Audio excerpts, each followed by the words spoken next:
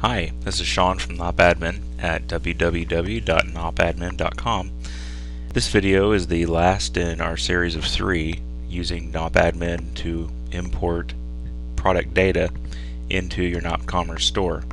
In the first video we used Excel and NopAdmin to upload um, from scratch one new test product into our NopCommerce store that we have running locally and uh, we basically went over every nuance, every detail about how to set up your Excel worksheet in order to upload a test product with um, three images. We assigned two categories to that product as well as a manufacturer and put in all the, the pertinent product data. In the second video we created some new attributes for that particular product. We created the cover attribute as well as a size attribute and assigned values and uploaded those. And now I want to review how to use NopAdmin and Excel to upload and assign product specifications to our test product. So um, we'll be working in Excel mostly and uh, I want to show you how to configure Excel so you get optimum results the first time, hopefully. So let's go ahead and get started. We'll be working in um, in Excel as I said and we're going to open up our our example worksheet that we started with in video 1. Okay. We have in this in this workbook this basically is a uh, it was created from the, the sample template that um, NopAdmin generates. You can generate this file by clicking. Go to NopAdmin and load. And you want to go right here view Excel template.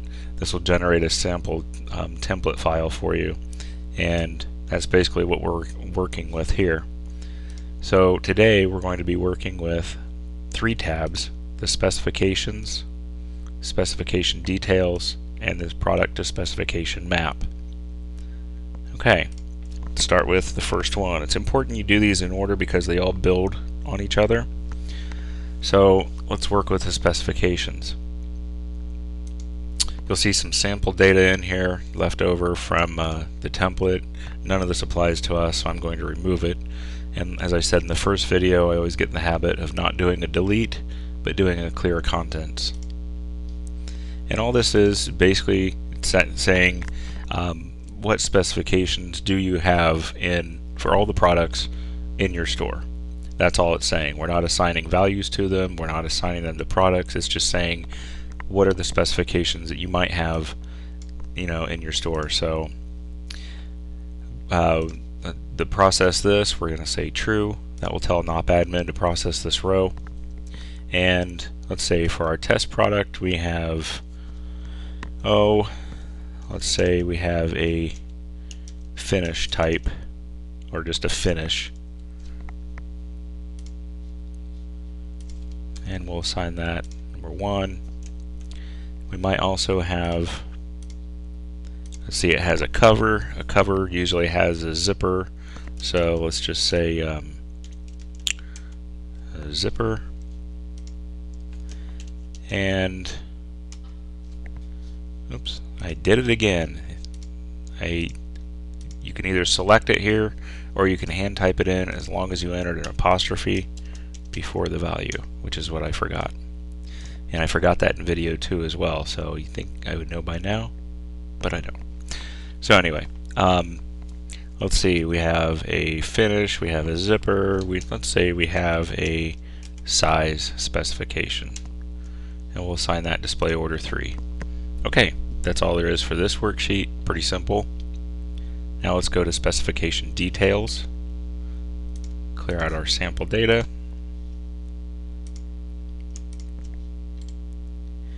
And we're going to clear contents.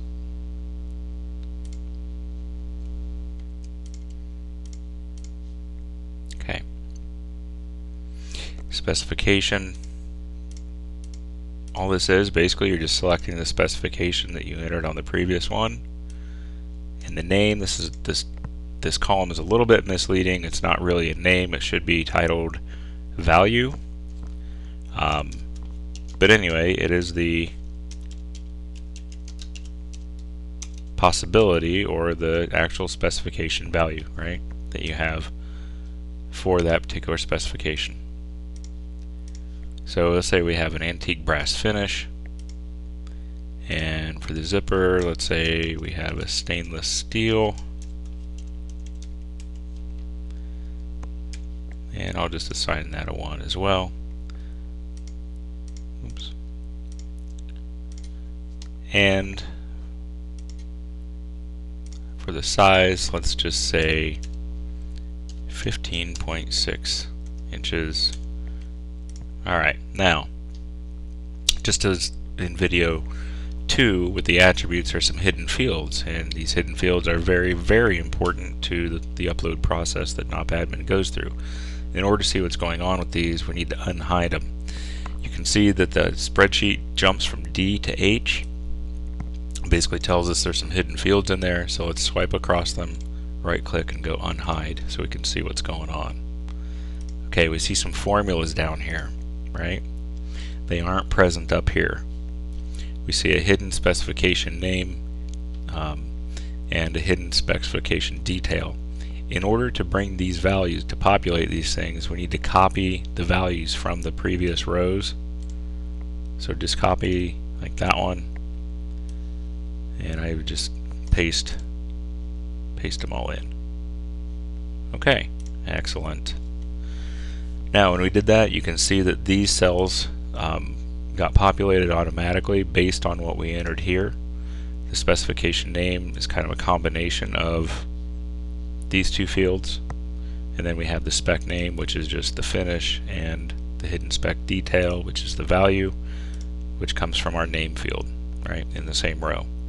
So that all looks good. These these three are populated. Excellent. Let's continue product to specification map we're working with this is the last one and this basically is where we tie that specification to a particular product so again, just like we always do, get in the habit of removing the sample data, clear contents, we don't do a delete. And I'm going to narrow this just a little bit so we can see what's going on. Okay, process this, I'm going to say true. Product name, there's our product. The specification we're going to select is our finish do we want to allow filtering? And that basically is, um, can we tell, do we want NopCommerce to allow filtering based on this specification? Um, I'm just going to say no. And there's another question, show on product page. Absolutely. We want it to show. And we'll assign a display order.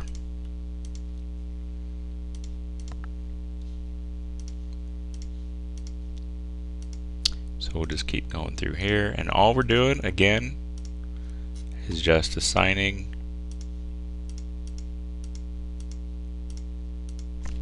the specifications that we created here under spec details to our specification map. You know what, let's go ahead and add another one. Let's add another size in there.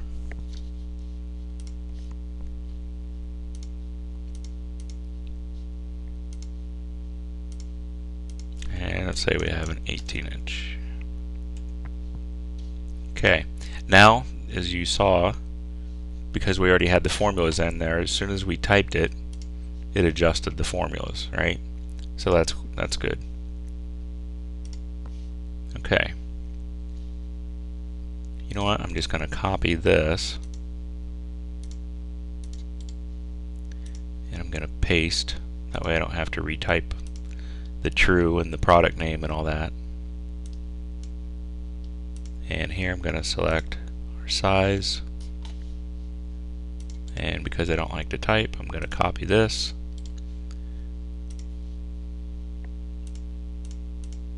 And let's say our product also comes in 18 inch. Okay, so there we have our four specifications map to our Shawn test 1 product, alright? That's all pretty cut and dried. So it looks like we're done, but we're not. As I said in video 2 and like this, worksheet has some hidden fields, so does this one. And again, NopAdmin uses those hidden fields, so we need to look at them, make sure they're populated. It jumps from F to J, so we know there's hidden fields in there. Let's click and go unhide. Okay. And now we need to just copy our rows up like we did in the other one. So copy, paste, and there we go. Okay, so you can kind of see what's going on here if you look at this. We see that we have, it's going to map our specification name um, to, which is basically, um, you know, which class is it, the, the a group of specifications. So we have finish, zipper, and the size, and then the details or the values for each one, and it's going to map those to our SKU. As I said in the first video, you have to have a SKU. Absolutely, there's no other way around it in NopAdmin, and you can see why, because in NopAdmin, the SKU is used all over the place. Okay, it is the key to the product. So that's why we use the SKU, that's why you have to put it in. Okay, so this looks really good. Um, we have all our, our values being populated here. This is this is good. Now, as I said in video two, you'll have some people who are loading thousands of rows and they're going to do a copy paste, right? They're not going to sit here and go click and that and that. You know, that would take days and days and days. Um, instead, they're going to copy and paste. So, you know, basically, um, if you copy and paste, you're just going to unhide and, you know, paste your SKUs in here and then all your specs, you know, the spec values here and the specification type in this column. So, um, and that's the reason basically I'm showing you the hidden fields in here for those power users and for the people who you know just they want to be able to kind of figure out what's going on behind the scenes. This is how you do it. So okay we're done working in Excel. We have our three worksheets populated. We have our hidden fields populated. Everything looks good. So let's go ahead and save this. And exit out of it. You have to exit out or you're going to get a, a conflict when NopAdmin tries to read it. Okay, let's go ahead and use NopAdmin and see what we got here. So we need to browse to the file first.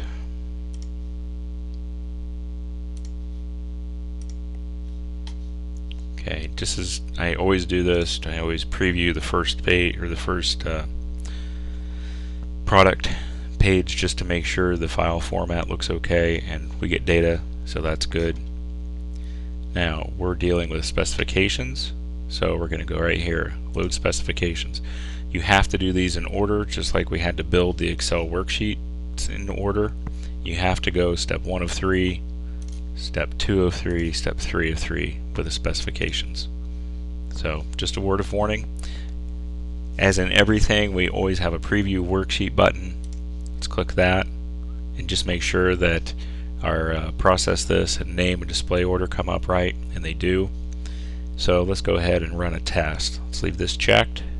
Say load worksheet. Excellent. We see finish would have been added, zipper would have been added, and size would have been added. So that's what we want. Let's go ahead and load them, uncheck the run test and load. Okay, good. This is just what we would expect. We see the finish, zipper, and size were all added. So good, let's continue on. Load the specification details.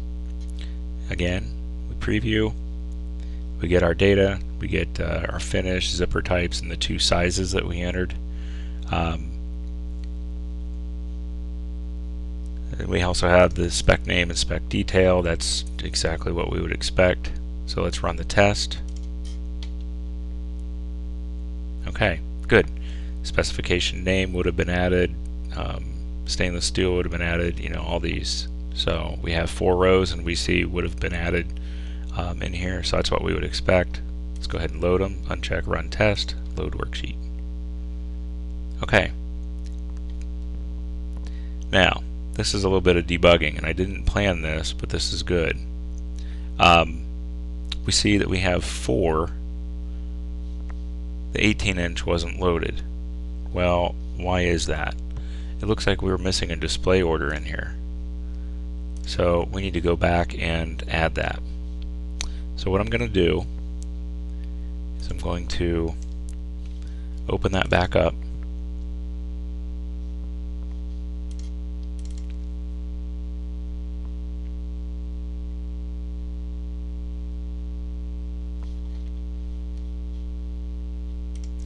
to our specification detail and it was the 18 inch that didn't process. So what I'm going to do is I'm going to tell it not to process those rows because I don't want duplicates. Okay I'm flipping those to false I'm just going to let it process the 18 inch. I'm going to change that to a 1 and that looks good so we're going to save it, close it, and we're going to flip back to NOP Commerce. I'm sorry, NOP Admin. Just to be sure, I'm going to preview the worksheet again. And this time I only see the one row. I see the display order in there. I'm going to run the test just to be sure. Okay, now I see name would have been added to specification size. That's what I want. Uncheck it load, and now I see specification 18 inch was added to size. That's perfect. Okay, so here we're going to go load product specifications, continue on, and now we have preview worksheet, we have our four rows in there, including the 18 inch that um, you know we had to go back and load. So we have display order 1, okay, that all looks good. Our hidden SKUs are in there. Excellent. Run a test. Load. Okay, we see specification would have been added. Um, you know, four, four, our four rows. That looks good. Let's go ahead and unclick it or uncheck it and load again. Okay, excellent. Specification finish. Antique brass was added. Um, stainless steel was added to the, for the zippers and then the two sizes that we had were also added. So that looks really good. Everything looks like it worked just as expected. Let's go ahead and check it out in NOP Commerce. So I'm going to flip over there. And here is our test product. Okay, and here we are. We see our test product that we created in video 1. And if we scroll down, we see the attributes that we added in video 2, the burlap, cotton, and silk, as well as our small, and then down below we see the product specifications, the four types that we added. So, um, you know, obviously the size is redundant here. That's fine. You know, this is just for demo purposes, but uh, basically, um, you know, everything looks the way that we would expect. So, um, this is a, a excellent way uh, using NOP Admin and Excel to very quickly load your NOP Commerce store um, using you know the product data that we did in video 1, the attributes in video 2, and now the specifications. So um, basically you can use NOP Admin to very quickly configure your store, assign categories, upload images, and assign manufacturers. So um, this concludes video 3 of 3 on NOP Admin Import. Um, again, my name is Shawn. Thank you so much for your time. I know all three videos, you know, took a lot of time to watch, but hopefully they'll save you some, some time in the long run and some aggravation.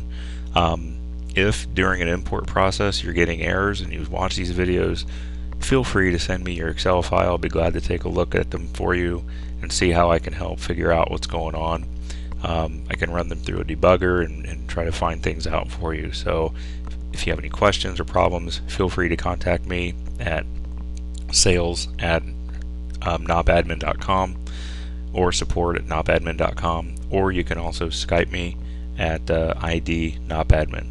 Again, thanks so much for your time and uh, we really appreciate it.